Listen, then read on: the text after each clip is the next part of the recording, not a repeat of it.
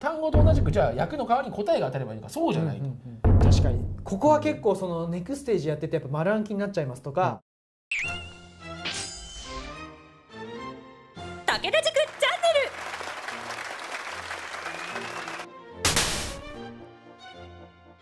ついに来ました。ついに。待望の。何ですか待望の。英語です。おー英語来ました。武田塾でもねはい、英単語の覚え方からやっぱり、はい。塾の基本理念ができてるわけなんで、うん、やっぱり受験生の多くはね、はい。英語と数学早くしろ早くしろとねはい。思ってると思うんでですね、まずはちょっと英語の方をね、はい。あのしっかり喋っていこうと思いますので、はい。よろしくお願いします。で、はい。その単語とまあ熟語、まあ、この2つは暗記系統なんで、これでちゃんとやり方を身につけた後にですよ、うんまあ、もしくは同時並行でやるものっていうのはいが英文法英文法。ですね、文法。はい。はい。文法からはやっぱりそのやり方が変わってくる。はい。要は何ができるようになったら正解と見ていいのかっていうのが、はい。単語は訳が当たればよかったと。なるほでも文法ははい。単語と同じくじゃあ訳の代わりに答えが当たればいいのかそうじゃないと、うんうんうん確かに。ここは結構そのネクステージやっててやっぱ丸暗記になっちゃいますとか、うんうんうん。そのなんかどういうふうに答えられたらいいんですかって結構質問多いところですね。そうそうそうそう、はい。まあ多分みんながねネクステージ見て思うのはあ右側覚えりゃいいのかって思うと思う、はい。ありますね右側、うん。解説のところ、はい、ただね、はい。右側覚えようとしても、はい。多分ねその覚えても解けない可能性はちょっとあるかなっていう。ああなるほど。なんていうか覚え方が分かってないと、はい。おただはい。あれをなんていうか写真みたいに全部入れたところであんまり意味がないかなっていう。ななるほどなるほど右ページはさ、はい。実際に入試問題出てこないじゃん、出ないですね。出ないでしょ？こ解説ですからね、だから本来は問題文とその選択肢だけでさ、はい。答えにたどり着かなきゃいけないはずじゃん。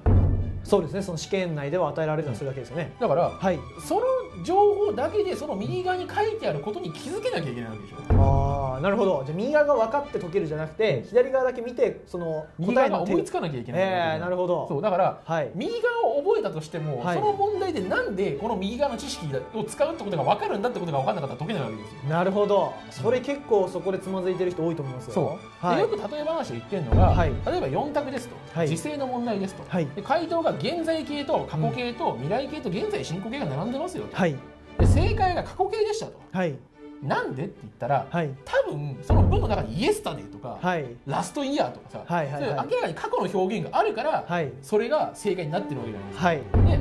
それを本文問題文見た時点で？気づけるようにしなきゃいけないなるほどそこで？気づく力も必要ってことで？すねそうはいだから、あのー過去の時勢には過去、あのー過去の表現があったら過去形落ちるみたいな説明が多分時勢の右目に書いてあると思うんだけどそれだけ覚えても意味がなくてこの問題だったら、はい。ここに過去の時勢っていうのがあるから、はい。だから今回選択肢これなんだなみたいなあふうに分かるようにしいないとはい。その問題とリンクさせないとはい右ページだけを暗記しても意味がないっていう、確かに。それを使って解くところまでやらないといけないなるほど。はい、はい。当然それを解説読んでも分からないケースがあるから、はい。それはその講義用の参考書と言われるはい。フォレストとか、はい。大岩の一番初めの英文法とかね。はい。あのああいうものを使って、うん。あの右ページだけじゃ分からない時はそこで補強するわけですよ。うん。なんでそれ正解なのかな？どこで分かるのかな、どう考えたら解けたのかな？意外とね解くってことを考えずにね右を覚えてる人は多いんですいやよ、多いですよ。めちゃめちゃいますよ、うん。はい僕も初めそうでしたけど、うん。はい。でそれやっちゃうとはい。あのなんていうかそれを使ってどう考えるのかが分かんないんうんですよね。確か応用が効かなくなりますね、はい、使う前提で覚えてないっていうかはい。覚えることが目的になってて、はい。覚えて使うっていうことが目的になってないみたいうんうんうん。うん。確かにななのではい。あくまでも左ページの部分だけでその解き方を思いつかなきゃいけないっていう発想は絶対捨てちゃいけないっていう、なるほど。うん、ことなんですよね。はい、はい。い、やーこれかなり重要ですねこれは、うん。はい。ではいそれができるようになってきたら今度はそれをランダムで試さなきゃいけない。うんうん英文法の参考書っていうのは大きく2種類ジャンルがあってはい。網羅系とはい。演習系、はい。網羅系っていうのはネクステージみたいにうん。家庭法なら家庭法ってテーマがあってそこに問題がブワーって並んでるケース、うんうんそしたらさもう家庭法って書いてあるだけでヒントじゃん、そうですね、うん。はい。今回家庭法の範囲やってるんだって分かりますからね。はいはいはい。だからそれが分かってたらどこもいいかある程度分かるでしょ。その家庭法の問題解きまくってるからさ、うんあ時勢とりあえず見りゃいいんだなとかさ。はい。で、はい。ランダムだとうん。そのどの分野か分からないからどの分野だっていうのを判断する能力がいるじゃん、いります。そしたらワンステップもう一個いるじゃん。はい。そこで今言った解き方が必要になってくるなるほわどけなんですよ。そういう視点で勉強しないと気づけないわけですよね、う。んごちゃ混ぜの問題になった時。そのその問題の肝というか、はい。判断ポイントが分からないはいことになっちゃう。だから、うん。ネクステのレベルだったらもう一冊やっても解けるんだけど、それランダムになった瞬間解けなくなるみたいな。はい。センター第2問は全然解けないみたいな状況になるわけですよこれやんないと。なるほどいやもう文法ができないって人はこれちょっともう一回見た方がいいですねここのところ、だからやっぱはい。りその目的意識っていうのをしっかり持って文法もやっていかなきゃいけないよと、なるほど。それを解くっていう時ははい。実際に解く時と同じ材料だけで解けなきゃダメなんだよっていう話ですね。なるほど、で、はい。続いてがはい。英文解釈お解釈、になるわけなんですけど、まはい。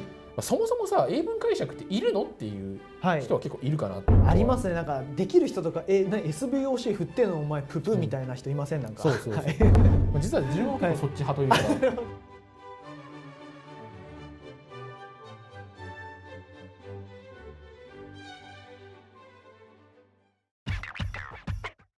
山口先生、はいこのね今回の動画でも紹介したような、はい。まあいろいろな勉強法とかさうん。各教科のはい。参考書とか、うん。いろいろ受験についての情報とか、はい。めちゃめちゃいろいろ載ってるサイトあるじゃないですか。ありますね。ええあの逆転合格 .com ってサイトなんですけど、はい。それがね、えーこちらから、えーはい。飛ぶことができますね。こちらですね。でまあこれ見てもらえれば本当に武田塾のやり方全部書いてあるんで、はい。ちょっとね文字だと辛いなって人向けにはい。動画もありますね。ありますこの武田塾チャンネルっていうね、はい。こちら。そうですね。この登録がこちらですよね。はい。はい。こちらに行ってもらえればね、あの過去の動画も全部見れますので、はい。うん。ぜひ見てもらえればと思います。です。うん、中井さんもう一個ありますよ。おさらになんとこの下。うん、あ、ね。はい、はい。コメント。あ、そうだね、はい、うん。この動画を見て、えっと、なんか疑問に持ったことは、はい。僕から一つずつ返していきますんで、はい。もう皆さんもう続々とコメントしてもらえればと思います。はい、はい、